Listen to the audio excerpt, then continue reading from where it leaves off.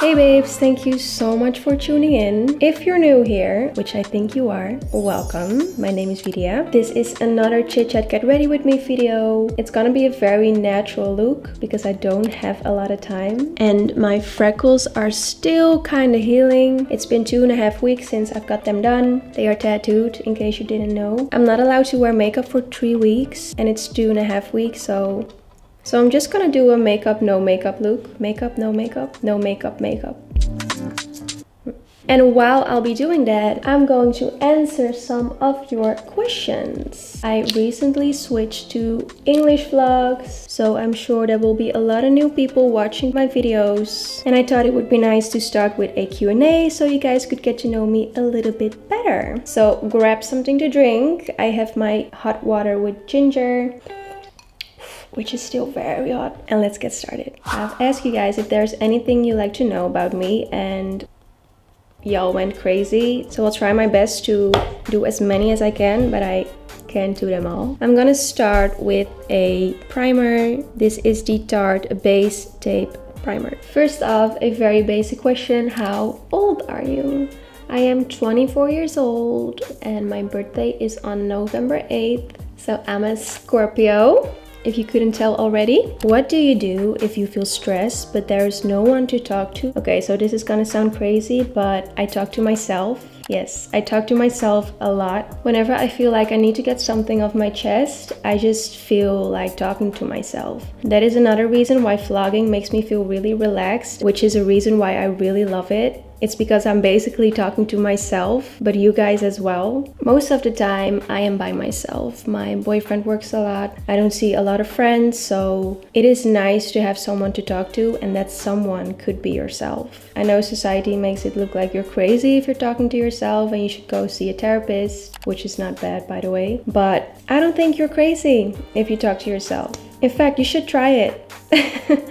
you should definitely try it. I will only be using concealer, so no foundation. This is my all-time favorite, the Tarte Shape Tape in the color medium sand. This looks gross, I'm sorry. And other things I'd like to do when I feel stressed and there's no one to talk to, I go meditate. I think meditation is the answer to a lot of things. Sometimes just sitting in silence gives you so many answers and will make you feel at peace. It will teach you so much about your emotions and about what you need to heal. I just really like sitting in silence and enjoy the present moment. And I should do that more often. I often forget that it makes me feel so happy and calm because we're all living busy lives and we're all too busy to meditate and take a moment for our breath. But I think the busier you are, the more often you should do it. I also like to do it when I come back from friends or when friends are leaving my place or when I come back from a meeting. I just take a moment to sit observe the room I'm in, observe the sounds I hear, the things I smell, the objects I see, and just really take a moment to watch my breath and it really helps. So usually I just breathe in for like four seconds. Then I hold for four seconds. And breathe out for about five seconds. So I recommend doing a couple of those and then tell me how you feel after that. What do you do for a living apart from YouTube? I am a content creator. So I create content for brands, which they will be using for their social media accounts, and I will be posting them as well. I do this on YouTube, on TikTok, on Instagram. That is my income. I am very happy to say that I'm a full time content creator. It has been different. I've had a lot of shitty jobs, but I just realized that wasn't the life for me. I did not enjoy it at all. I'm gonna set that concealer with this powder but as I was saying, I had a lot of shitty jobs. One day I just decided to take a leap of faith, quit my job, and be a full-time content creator. And it took some time to feel confident being a content creator. There is this huge stigma that you only care about your looks when you're a content creator. And I often felt ashamed when somebody asked me what I'm doing for a living. But now I'm super proud. Like I make my money with doing what I love the most, which is expressing myself, taking pictures, wearing amazing clothes. So I'm happy. What is your origin? I am half Dutch and half Indonesian. Have you studied anything? I have studied social work. I actually dropped out last year. I had one year left, and my subscribers and a lot of people around me thought I was crazy for dropping out, but it just felt like the right decision. I listened to my intuition and it just made me so unhappy. Some people told me, you only have one year left. What is one year if you could be happy after that? One year being unhappy is a lot, people. It's a lot. Don't ever waste your time for things that you do not want to do. So, yeah, I've studied social work and I decided to quit and it was the best decision of my life. Time for brows. I always use these soap brows from West Barn Co. and I don't even want to show you, but I use this really dirty spoolie. I wash it. I just haven't washed it for this video, but I need a spoolie with a good grip. So this one is really steady. I can really push it in the product and then I just brush all the hairs up. Do you have any tips on how to deal with trauma? Ooh. I must say, I am dealing with a trauma right now. I don't want to share anything about it yet. I don't know if I ever will. It's a pretty intense trauma for me. And the way I am dealing with it right now is first off, being super nice to myself. So, to give you a little bit more information, I recently found out something has happened to me. First thought that came into my mind was, You are absolutely crazy.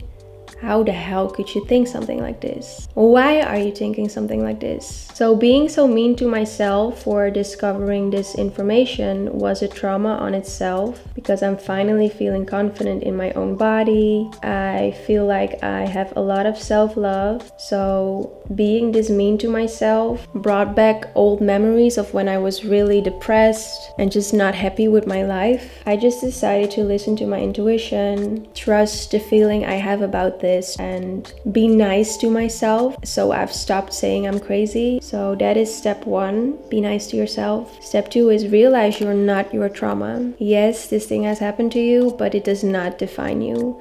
You could still have a beautiful life. You could still learn to not use your trauma energy, but your higher self energy. So that is something that I'm dealing with right now. Like, I know it does not define me, but I sometimes still struggle because a lot of things remind me of the trauma, which makes me react on things with my trauma energy. So I'm still working on that. Honestly, I'm just giving myself all the time I need for this. Another tip I could give is start a shadow workbook. I write literally everything I feel about this subject, about this trauma in this book, and it just makes me feel so relieved, really. So I really recommend doing that. So these are my brows. I have some gaps over here at the bottom and I will fill them in later, but I'll just let the soap set for a minute. So let's add some color to this face. I feel like I'm so pale. So I will be using the Lost in Amalfi Baked Blush. Best advice to build your confidence and stop doubting yourself. Love you, by the way.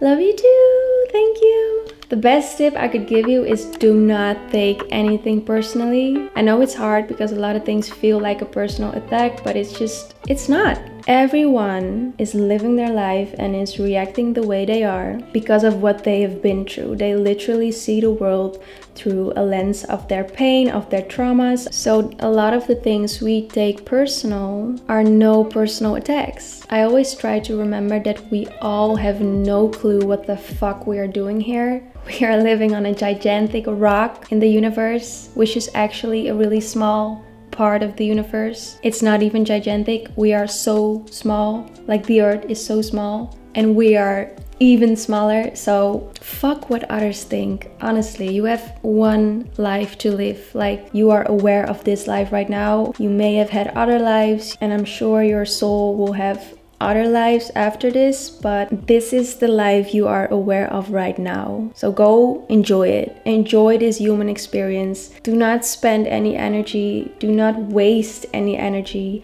on trying to convince other they should like you because you are not made to be everyone's type. I sometimes get upset talking about this because I just find it so sad that people are literally wasting their lives because of others and I don't think you should take advice from the people that are judging you. You probably wouldn't take their advice, right? So you should also not care about their judgment towards you. Fuck them. I'll then be using the Charlotte Tilbury Micro Precision Tinted Brow Gel to fill in the gaps. It has this cute, tiny little brush. Look at that.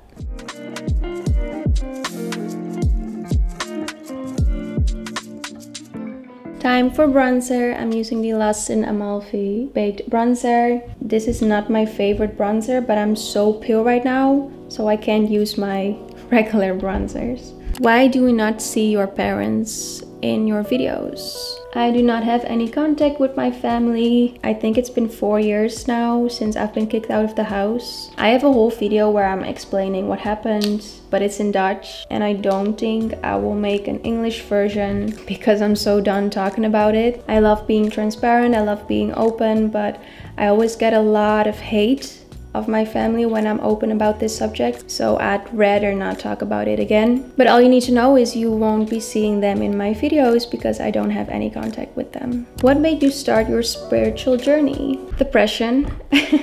I was at my lowest when I was around 16.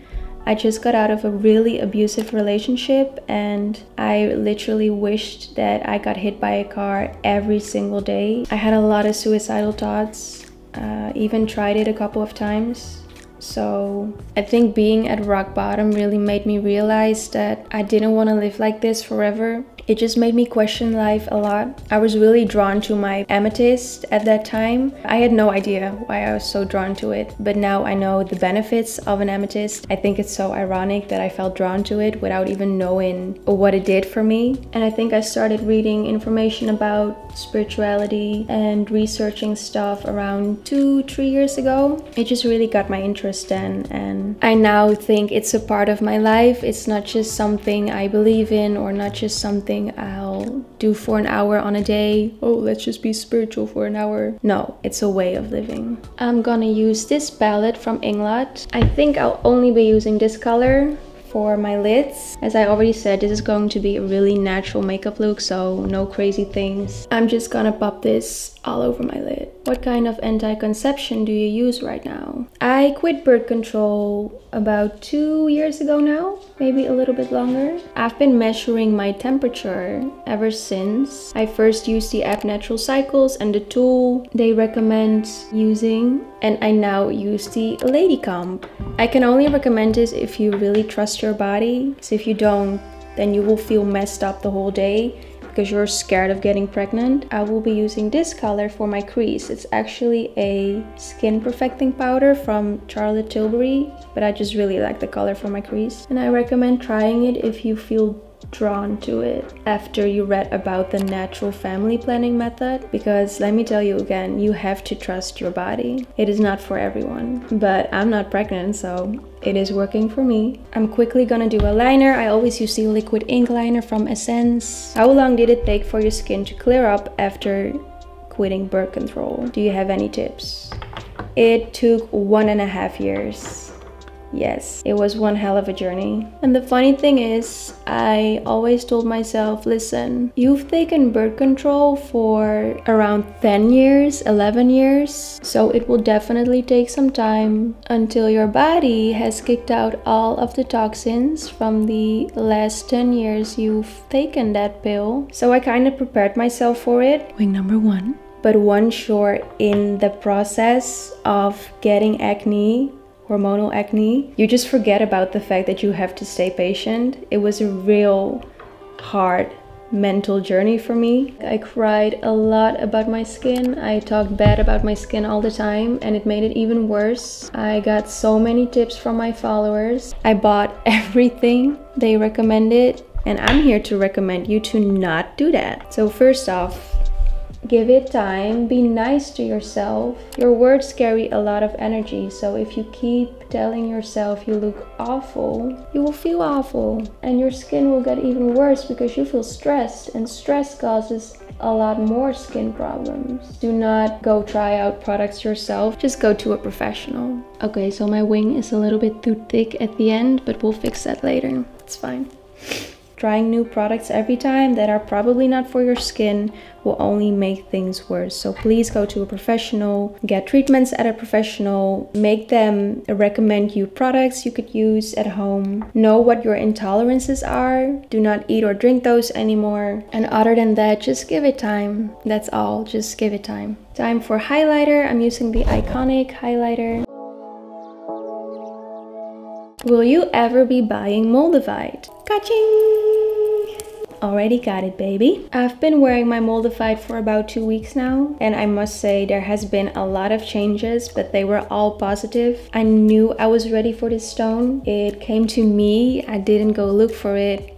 I mean, I did, but then I realized it had to come to me. So I stopped looking and then whoosh, it came on my pad like a few weeks later. Just wait until it crosses your pad because it will come in your life once you're ready for it. I am now ready for it, which is why I only have a lot of positive changes. But if you're not ready for it, it can destroy your life because it's a really powerful stone that cuts out all the things that do not serve your higher self. So yeah, be careful.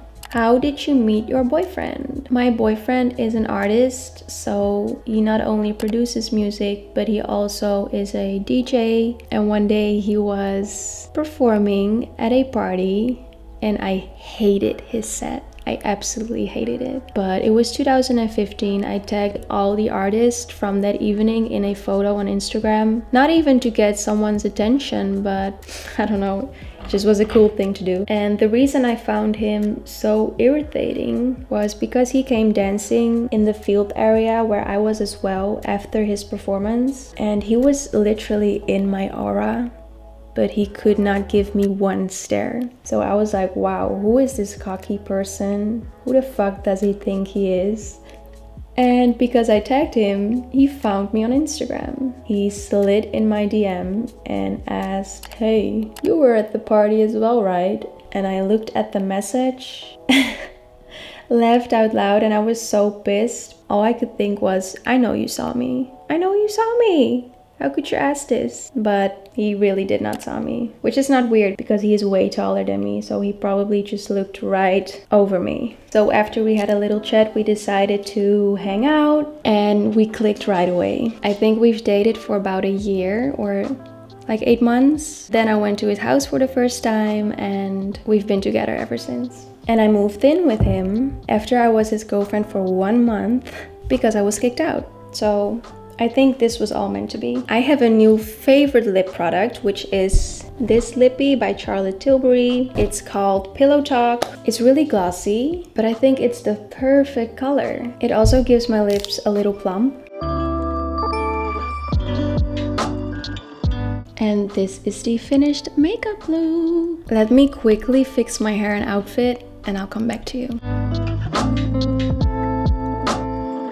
This is my finished look. I only did my bangs with this one right here. It's my baby. It's the Dyson Airwrap. And I'll promise you to show you that in another chit chat get ready with me. But I have to go right now. I just don't have a lot of time left. So let's do some setting spray. This is the Ultra Glow All Nighter from Urban Decay. And this is my outfit. I'm wearing a super cute top from NA-KD. The crop leather jacket is from Urban Decay. Urban Decay, I mean Urban Outfitters. The jeans is from, I think Levi's? No, it's Weekday and I'm wearing it with these shoes. They are really old from Zara. And I'm pairing it with this little bag. It's a vintage Dior and it's from the Vintage Bar. Thank you so much for watching. I wish I could have answered a lot of more questions, but just watch my vlogs. I'm sure you will get to know me better week by week. And I promise you, I'll be back with another chit chat. Get ready with me very soon. So don't forget to subscribe, turn on notifications, and I'll see you in the next video.